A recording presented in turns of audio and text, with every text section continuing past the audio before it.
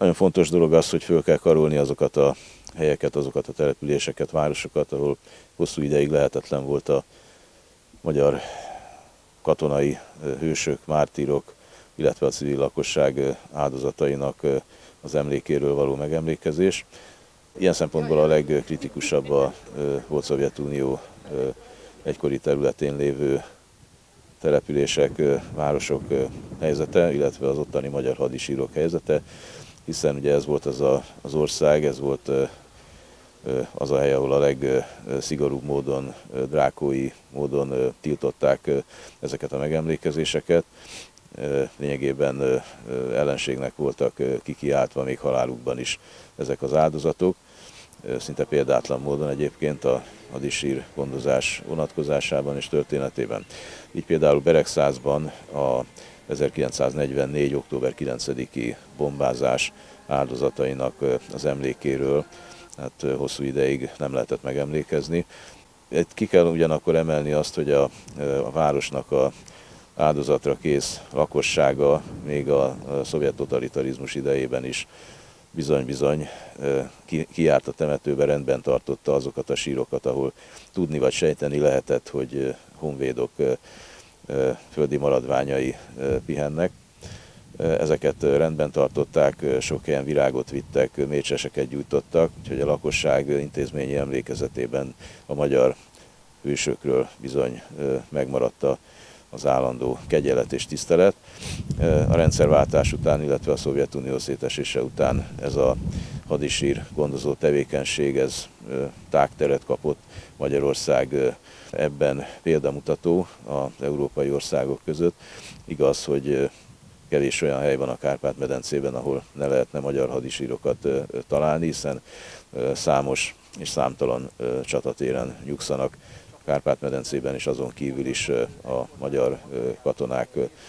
Itt Beregszázban a október 9-i bombázásnak mintegy 50 katonai áldozata volt.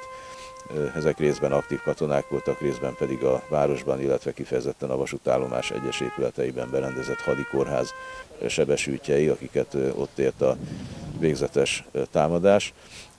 Ez a támadás, a, a támadást a szovjet hadsereg hajtotta végre, mint egy 27 harci repülővel, bombázóval, illetve ami még tragikusabb az október 9-i bombázás történetében, a civil lakosságot ért mintegy 200 áldozatot követelő rajtaütés, ami már szinte megmagyarázhatatlan, tehát ez katonai, stratégiai célszerűség elveit messze túlhaladja, és lényegében egy terrorisztikus katonai akció volt, amikor a városban szanaszét menekülő polgári személyeket a repülőgépek gépfegyvereivel kaszabolták le az utcákon, nőket, gyerekeket, időseket, és ez egy körülbelül egy 200 főt követelő áldozathoz vezetett, amely áldozatra és akikre itt most ugyancsak megemlékezünk október 9-én. Immár hagyományossá vált ez a megemlékezés, nagyon fontos dolognak tartom,